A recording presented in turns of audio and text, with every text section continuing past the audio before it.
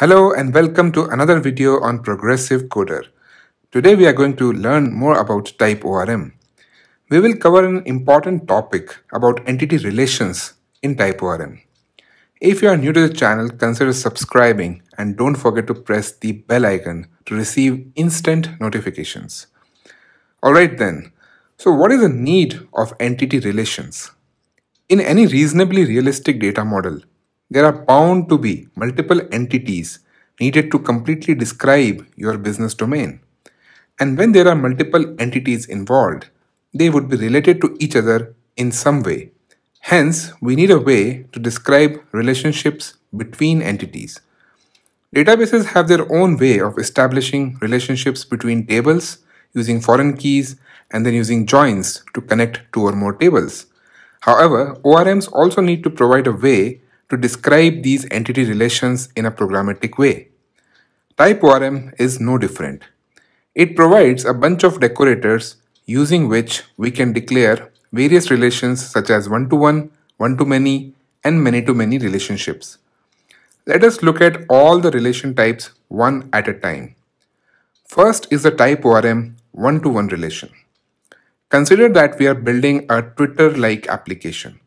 First off, we have an entity to store basic information such as first name and last name of the user. Let's call it the member entity. To store other information such as the number of followers and following, we have another entity known as profile entity. This is a typical one-to-one -one relationship.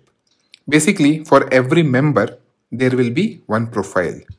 So how do we describe such a relation in TypeORM? The member entity will have some basic fields such as first name and last name. These are decorated with column decorator. We also have an ID field decorated with primary generated column. Then we have the profile field. It is of type profile. We decorate it with a special annotation known as one-to-one. -one. This annotation takes a target function pointing to the profile entity. We can also pass additional options such as cascade to the decorator. For example, cascade true makes sure that inserts, updates and deletes to the member entity are cascaded to profile as well.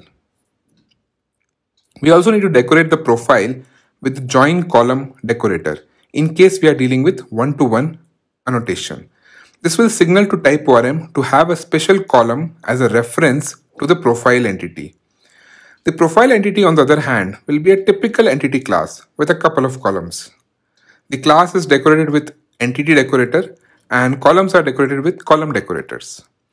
Using the entity with one-to-one -one relation is pretty straightforward. We create an instance of the member class, then we create a profile instance, we set the profile on the member object and use the member repository to save the records to the database. In this case, we will have one record in the member table and one record in the profile table. The member table will have a foreign key reference to the profile. Since we had used cascade as true, both records were created with a single save statement. Moving on, the next important relationship is the one-to-many relationship. In our example, we have a member and every member can have one or more tweets. This is a classic one-to-many relationship. So how do we model this in TypeORM? First step, we add tweets to the member entity. We decorate it with one-to-many decorator and its target is the tweet entity. We also need to specify the field name of the relation field within the tweet entity. That is going to be called tweet.member. Also, we add cascade uh, as true. This will ensure that when we insert a member with some tweets, it will insert records into the tweet table as well. Next, we have the tweet entity. Again, it has the ID field and a field for storing the actual content. To establish the relation with the member entity, it has the member variable with many to one decorator. This will target the member entity and the specific field is member.tweets. Using the one-to-many relation is again quite straightforward. Extending our previous example, we also create a tweet and add it to the member.tweets array. Then we can save the member using the member repository. In this case, we will have one record in the member tables. The member table in itself won't have any reference to the tweet records.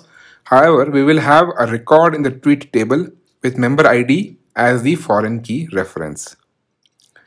Going ahead, we can now look at many-to-many relationship. In our example, what could be a potential many-to-many relationship?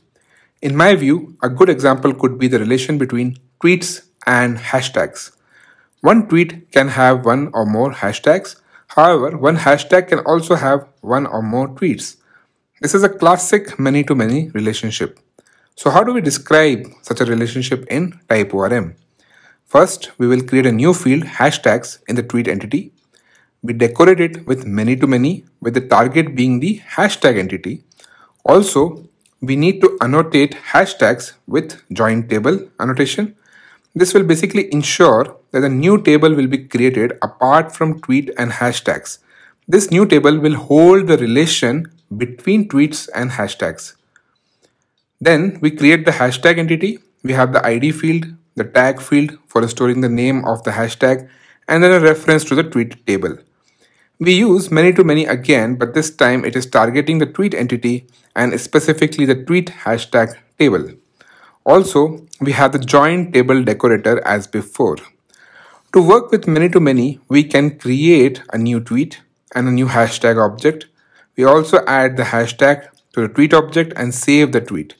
This will create one record in the tweet table, one record in the hashtag table for TypeORM and one record in the tweet hashtags hashtag relation table. This is basically the link table between tweets and hashtags. With this, we are basically done with looking at all the possible relation types in TypeORM. If this video was helpful, please do like and comment. See you until next time.